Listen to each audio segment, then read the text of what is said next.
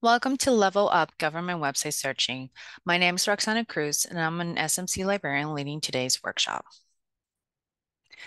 So, the three branches of government are the legislative branch, the executive branch, and the judicial branch. The legislative branch consists of the House of Representatives and the Senate. They pass, change, and repeal laws. The type of information they produce are bills and statutes, congressional committee materials, and proceedings of Congress, and so forth. The executive branch, which is the president, VP, and the cabinet, they carry out laws, run government day to day, and they produce um, government information that deals with presidential and regulatory materials the judicial branch, which is the Supreme Court, they interpret laws, settle arguments, and the type of information they produce are opinions from more than 100 US courts. So understanding the type of information each branch produces will help you decide where to start your search.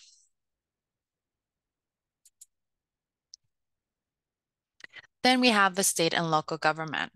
They are modeled after the federal government with three branches of power, um, and they share their political power with the federal national government. The state here, we're referring to the governments of the 50 states, including California. And the kind of information they produce are similar, such as bills, laws.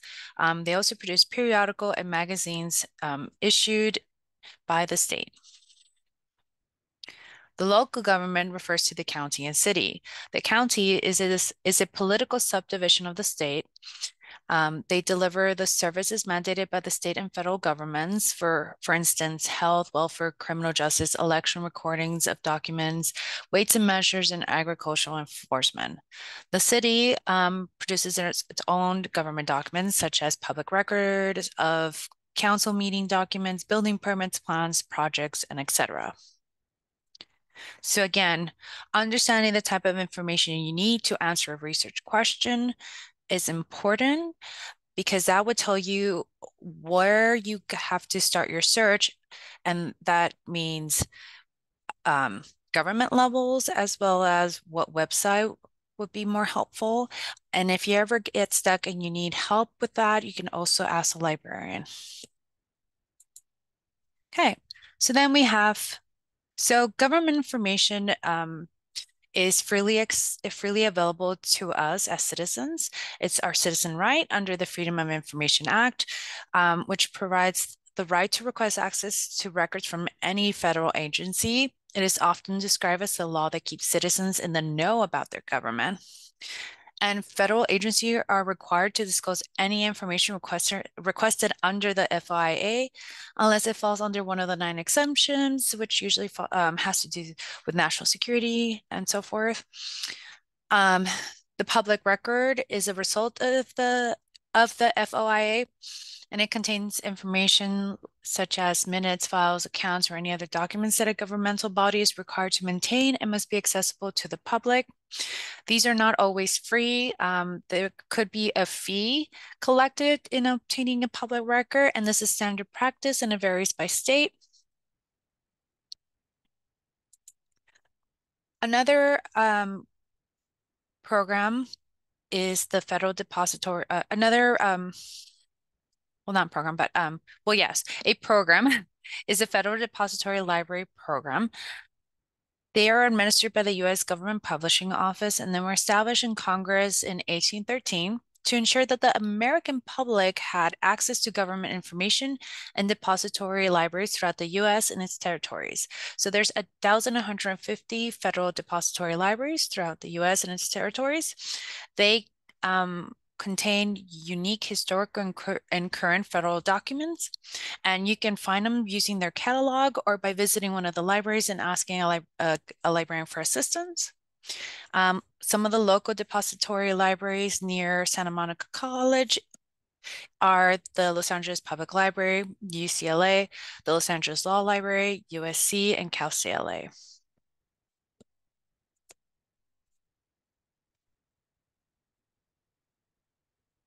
So there are so many um, uses for government documents depending on your research topic. if you're, for example, researching um, about environmental factors like air, climate, soil, water conditions, um, you're interested in business or census, um, U.S. history, health, um, anything to do with health and the economy, or any current issues that are happening in Congress. Government documents provide authoritative, credible sources to support your research topics. Um, many are scholarly and some are even peer reviewed, but not all government documents are. So depending on your research on your research topics, some documents may be a better fit than others.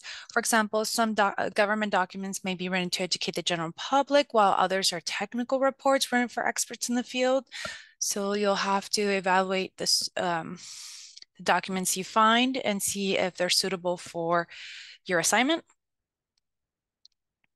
And if you have any doubts um, whether a publication is scholarly, um, just remember that public um, scholarly document um, research are written by and for researchers, scholars, or professionals in the field. Um, these will be somewhat um, lengthy and will cover a topic in detail with plenty of um, technical language. Um, they will also cite their sources, will have footnotes, um, a bibliography, or works or cited list. Um, and, but whenever you're in doubt, also ask the librarian. They can assist you with evaluating your source to make sure it's appropriate for your its intended use. So now that we know the basics of government documents, what they are, our rights under it, how they're freely accessible, where we can find them, and the diverse top uh, research topics that we can use them for. Now, before the next step is understanding your information need. Um, sometimes we'll have an idea of what we want to do, what we want to research. However, it's important that we start by understanding our information need, which is how are we going to answer or support our thesis.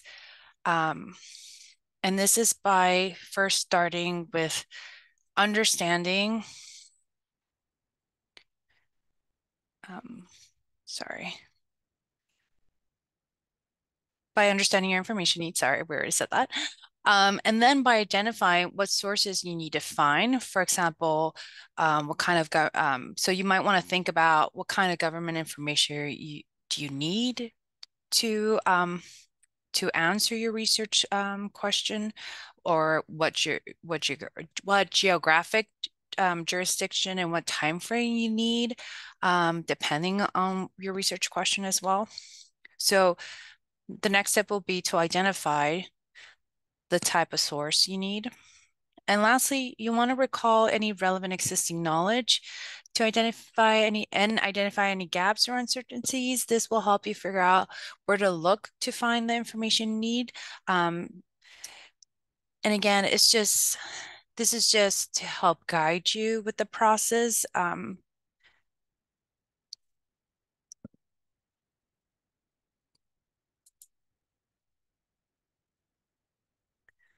okay.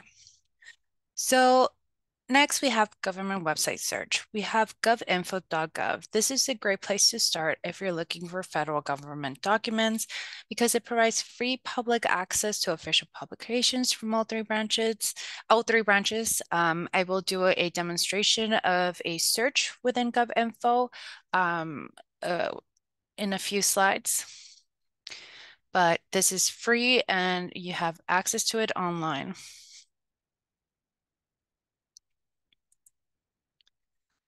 Another popular government website um, is usa.gov.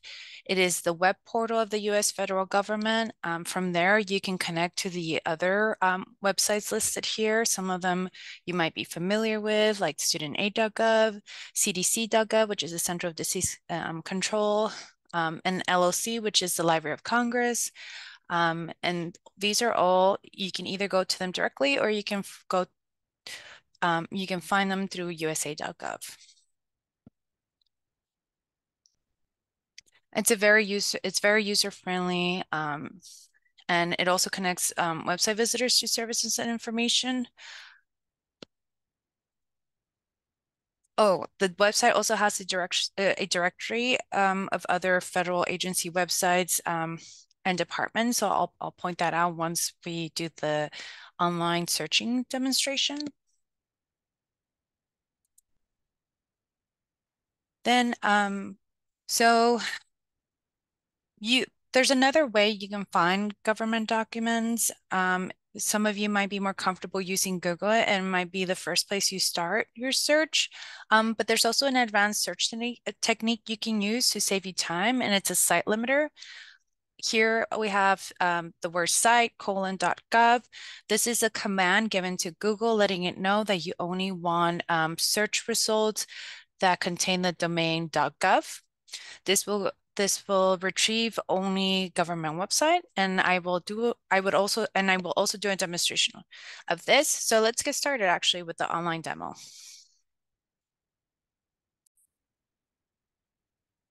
Okay, so here we are in google.com and we're going to start um, the search demo. We're going to get started with govinfo. So that's govinfo.gov and here um, is the site. There's multiple ways to search within this. Um, you can browse documents A through C. You can browse by category by um, selecting a specific collection. Um, you can browse by date, committee, and author. You can also um, explore further um, documents. And they do this really cool thing where they do features of specific collections and records. Here we have the Jan Jan uh, John F. Kennedy Assassination Records Collection, the Thanksgiving, Veterans Day, and so forth. They list some of the popular ones. And if you need any assistance um, trying to figure out how to search within this, there's also tutorials and handouts under the help section and other resources on how to find information. Um, it's very helpful. They try to make it um, easy and as transparent as, and transparent as possible. Okay, so let's go back up to the search box. We have this the basic search or we have the advanced search. Um, I recommend starting with the basic search only because you have to know a lot. Um, you need to know where your document is going to be and uh, more detail. Like, um, so if you don't know that, I would select. I would suggest starting with search. There's also the citation one, and that one is also in more detail. Let's say you were reading a scholarly article that mentioned, um, uh, let's say a congressional bill, and you have the bill number um, and the Congress. You can put that in there, and if you have the bill number, you can move forward. If you don't, it won't allow you to. So this requires a lot of more information in order to retrieve. So if you don't have that on hand, I, like I said, I suggest starting with a basic search. So let's say you were interested in, uh, in Roe versus Wade. You can enter it like as is as your keyword, and it'll um, search for your keywords within the full text and through the metadata as well. As well. So here it is. Um, As you can tell here, it's looking for it um, within the full text. You have your ways to refine your results, date it was published. You can also narrow by date, I mean, the government author, organizations, and so forth. Um, let's do congressional bill. So here's the Abortion Justice Act of 2023, which reversed um, Roe versus Wade. You can access it through PDF, through text. Um, you can read the details. Let's do PDF. And here it is. And you can read the bill and then um, use it for your research. You can, and of course, like any feature, you can download it um, and print it out. Great. Um, let's see. Now let's do a quick um, demo of USA.gov. Okay, so that was the other um, website I share, which is a web portal to other um, uh, federal agencies and departments, super user-friendly. Um, for example, here it starts, how do I? And it usually connects you to services um, and information. So this is a little bit more towards um, the general public, but you can go into, um, you can go in more depth depending on the information you're seeking. So they have these really user-friendly boxes um, to let you know how to find, well, to help you find the information you need without having to dig through the website. So if you want to learn about financial assistance um, because of disasters and emergencies, disability services, um, education, government benefits, health, immigration, U.S. citizenship. You click on the tab, it directs you to where you need to go. However, they also have a directory at the bottom of the page. So if you go here, you have the A through C index of U.S. government um, departments and agencies. So you can find like the Library of Congress here under the L's, just a matter of clicking through it. Or you can directly go to their page if you know the website. For example, if I knew I wanted to go, I write a history paper and I wanted to use primary sources, um, I would go to loc.gov, takes me directly to the Library of Congress webpage. But let's say you didn't know the website, um, right? The URL to the website, then you and maybe you weren't familiar with USA.gov or didn't feel comfortable using it. There's another way of doing it um, through Google without having to sift through all the other results that are irrelevant. For example, one would be to do a site search. So let's say you were looking at, let's see, Native American tribes. Um, you would enter your key terms, and then you would do the site search, as I mentioned before, site uh, colon dot gov, and then go. So no space between site.gov, single space. And now you see, while I scroll down, pay attention to the websites that Google retrieved for me. They were all .govs. So this gave Google the command to just do government websites. Here's one, National Atlas. Another way of doing this is to go to the, um, the quick settings, advanced search, and then here are the search boxes. Um, you can enter your keywords on the top, and then here you can narrow by language, by region, by site domain. So this is where you will like um, enter .edu, .gov, and so forth. And then you can also do by format. So if you only wanted to retrieve PDF files, you can also do that and then do an advanced search. So now I have not only government websites being retrieved, but government websites with PDF files. Okay.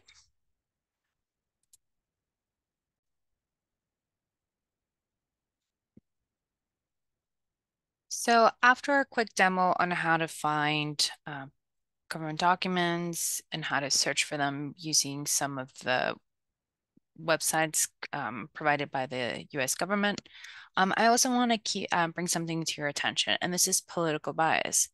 Um, for example, how do politicians decide which policies to support or not? So some of the documents you might find online, um, some of the government documents you might find online might be a bit biased. So it's important to keep that in mind. Um, so what does political bias mean? Well, it means that politicians or government entities, entities, um, stakeholders, they will present information to highlight a problem and offer a solution that favors their own political position, right? So the, this makes their personal position appear more favorable and their policies as the expected course of action. Um, so clearly they have an agenda and they're trying to push it. So we have to be aware of that. Um, and one way of doing one way of evaluating um, some of these government documents is by using the same criteria we use for other types of information. For example, we want to look at the authority right of a of a document so uh, document. What are the credentials that are provided um, for the author if there is a um, individual author or from the authoring agency right? Then we want to look at the re reliability uh, what sources there are are in any sources cited um, who supports it who's backing it up um, Another thing is we want to look at the accuracy, right? Um, how detailed was the collection of the information? For example, data collection was how well was it vetted, right? Um, and if you ever have any doubts, um, you can also ask the librarian for assistance, or you can look for other sources um, that show both sides of the story, right? You want to find coverage on that same topic from other reputable, reputable sources to see if they agree or if the information provided differs a bit. So you get the full story and not just one side. There's also government oversight and watchdogs. Um, these are individuals or groups that monitor activities of people in power and governmental organization. Their role is to inform the public in order to hold elected officials accountable. Uh, one um, well-known one is the U.S. Government Accountability Office. They are actually a congressional watchdog. They're independent, nonpartisan agency that works for Congress and keeps them accountable. Then we have the US spending.gov. This is an official um, site where they look at the spend, spending da data for the US government, and they're meant to be, um, and their mission is to show the American public what the federal government spends every year and how it spends the money. Next, we have the Federal Election Commission. They protect the integrity of the federal campaign finance process by providing transparency and fairly enforcing and administering federal campaign finance laws. Then we have POGO, or Project on Government Oversight. This is nonpartisan, independent watchdog that investigates and exposes waste, corruption, abuse of power, and when the government fails to serve the public. Then we also have factcheck.org, also a nonpartisan nonprofit um, consumer advocate for voters that aims to reduce the level of deception and confusion in US politics. They monitor the factual accuracy of what is said by major US political players in the form of TV ads, debates, speeches, interviews, and news releases. So sources like these um, are, are very useful when you're trying to evaluate um, your government documents. You should always evaluate all your sources. Even if it's scholarly, always look at it with a critical lens. So thank you so much for uh, attending this workshop. And if you need any research assistance or how or evaluating um, any of your sources, ask a librarian. We're available through chat 24 7 or in person um, during our library operating hours. You can also contact me at cruz underscore maria underscore roxana at smc.edu. Thank you.